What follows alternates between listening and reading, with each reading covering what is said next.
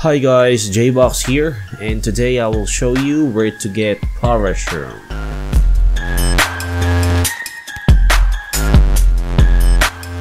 Open your map then go to area 2 as you can see in this video.